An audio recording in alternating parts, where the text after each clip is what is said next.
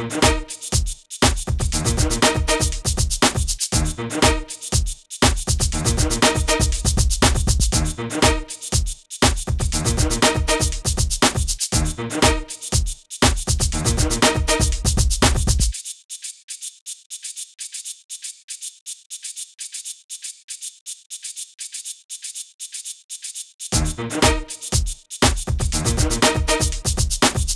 back.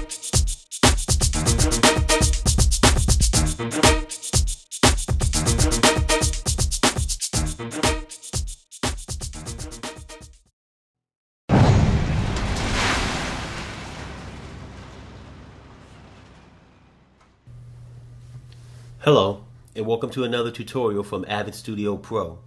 Today we're doing a tutorial on how to do a video montage. Let's get into it.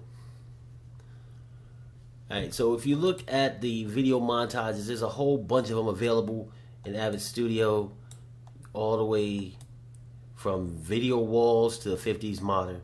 Right now I'm on the multi-layer mix, and I'm going to use you can mix and match these if you if you want to if they don't take up the full screen. So what I'm gonna do is I'm gonna take the uh, two of the multi-layer mix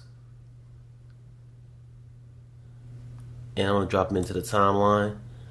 I'm gonna do the uh, right side roll and gonna do the lower third crawl.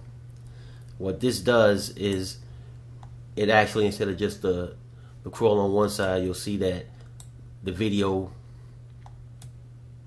actually goes both ways as in the demo that I showed you. Now another thing that I did is I went ahead and placed some video motion loop behind them. So I dropped it down into the bottom timeline track. And then I can go ahead and bring these up to size so that it all matches up. Now when I double click on one of these, I can then go and add the clips how I want. You just basically drag and drop, place them in where you want them. And it's pretty simple. One thing you can also do is you can change the parameters or the position.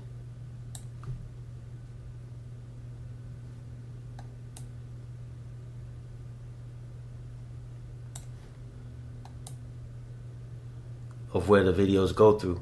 If you want to move it to the middle, you want to move it down, you want to move it up, you can utilize this to do that. It gives you some flexibility in what you can do with your videos.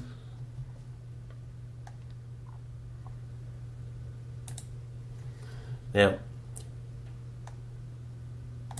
another thing you can do with your montage is you can change how it's displayed. Most people use the thumbnails, but you can use a detail view if you want to. And you can also use a scene view if you want to. Pretty simple to do. Now, an important thing about the montage is that once you get to a specific position in the montage,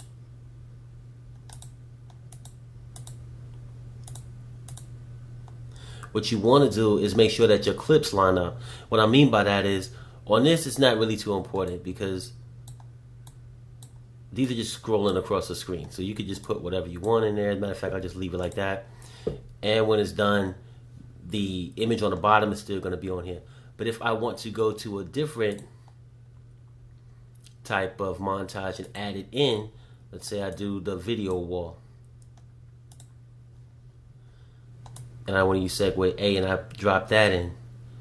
Well, because this is the image I have on here right now of the crowd and the instruments, I want this to match up with it so that it doesn't just jump from one picture to the other one. So what I want to do is when I utilize this montage, I go to the correct tab that I have open and you'll notice that you still have the functionality of going between your tabs and opening up new tabs as well in your montage. So I want number one to be the same. That way it doesn't jump from a picture of the crowd to a picture of something else. It's going to look real sloppy. Also, it's important to know how the end of the montage looks so that you know what it ends on. So whatever ends on number six, let's see, I just put the same thing in there. Then I want, if I want to go ahead and segue into a new montage, and I go to pick another one, let's say we go back to, let's go to multi-layer mix animation, and I'm going to do the four box drop, the quad box.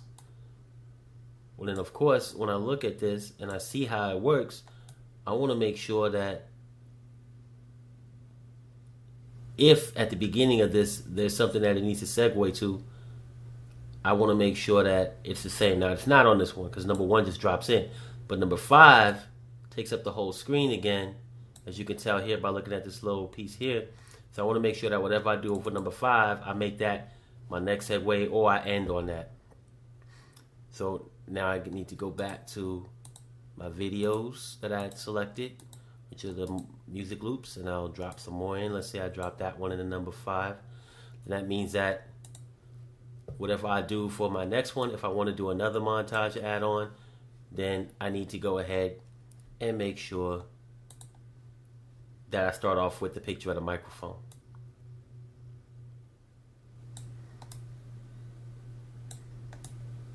And I'm going to go ahead and put the shatter in there just like I did on the demo. And what that means now is I got to go back to my videos. And of course, my first one, since it's the full screen again, has to be the microphone so it's a smooth transition. And I can make whatever the end because it just shatters and changes to that last piece. And that's it. You're going to add your music. Make sure you have a track open. If you don't, you can right click on the track and say insert new track uh, below. And then you put your music into this track. Line it up with your videos. Make it look nice and smooth and you're all done. That's it. How to make a montage theme in Avid Studio. Thanks for watching. We'll see you again soon.